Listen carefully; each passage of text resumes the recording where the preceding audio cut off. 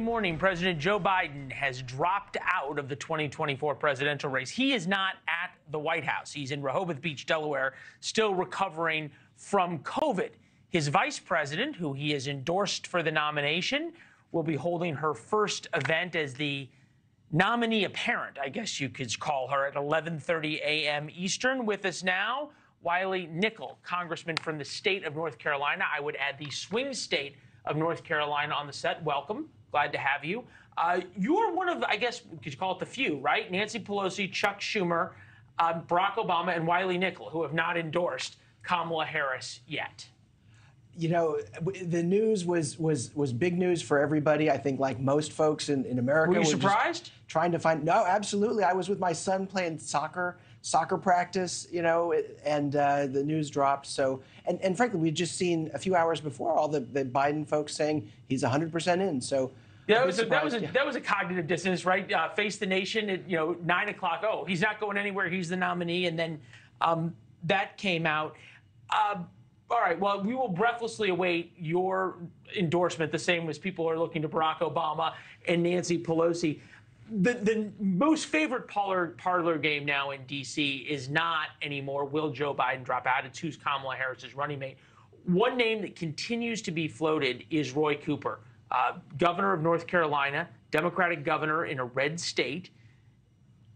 Give us your pitch for him.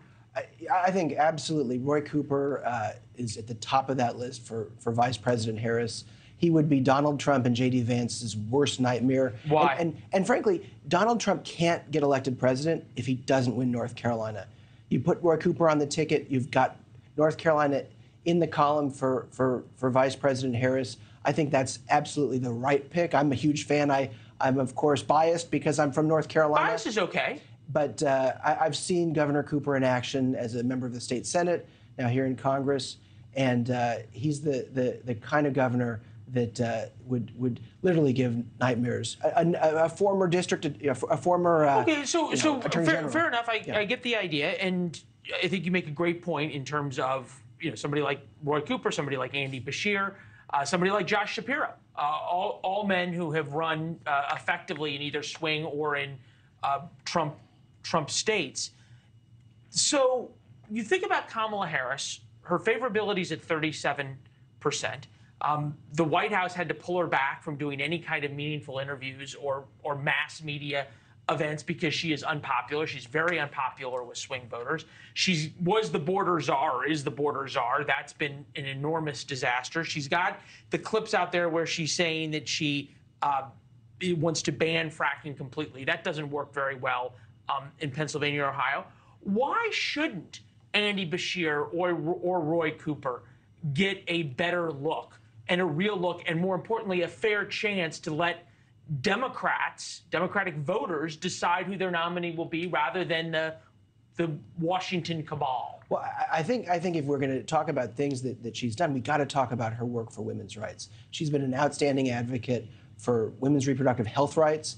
Uh, I, have seen her time and time again speak passionately, you know, from a, a, a, a wonderful place on this in terms of making this a big issue, and it uh, is a big issue. It is an enormous issue for about five, or Scott's going to correct me, five to about eight percent of the voters say abortion is their number one issue. The economy, border, and crime are the top three, um, and she's got a record with the Biden administration, the Biden-Harris administration, that Americans don't approve of her handling of that by what 10, 15 points?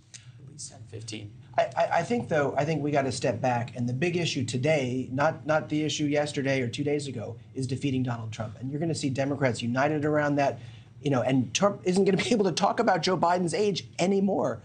He's going to have to talk about the issues. And when he does that, uh, those polling uh, numbers uh, the boomerang, the boomerang way. of the age issue is just completely upended this race. The Thanks for watching, everybody. Go to joinnn.com to find News Nation on your television provider.